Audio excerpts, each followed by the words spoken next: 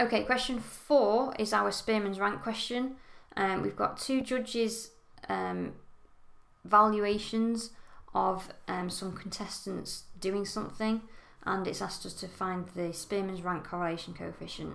To do that, we need to um, rank these data values um, from either smallest to biggest or biggest to smallest. It doesn't matter um, which one you do as long as you do the same both times. So I'm going to do um, biggest to smallest just so that I can write 1, 2, 3, 4, 5, 6 here. But then you've got to remember to do the same thing for the second set of values. So we're going from biggest to smallest. So that's E first, so that's a 1 there, then F, um, C, D, B, A. Hang on, what am I writing there? A D. Um, one second. Needs to be a 4, 5, and then 6 there for A. So the second set of values are 6, 5, 3, 4, 1, 2. Um, what have I put D there for? These are ranks. So this is the ranks for judge 1 and the ranks for judge 2. Then we find the difference between the ranks. So this is D, difference between the ranks.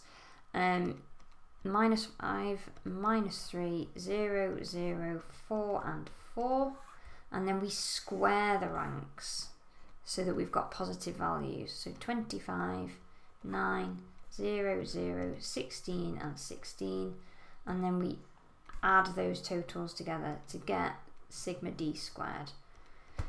So 25, 9 and 2 16s is 66. That tells us then we can use the formula which is 1 minus um, 6 sigma d squared divided by n bracket n squared take 1. n in this case is 1, 2, 3, 4, 5, 6.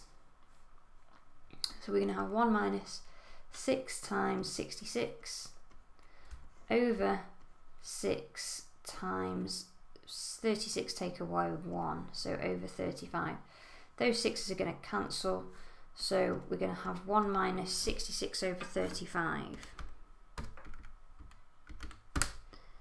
Which is minus 0.886.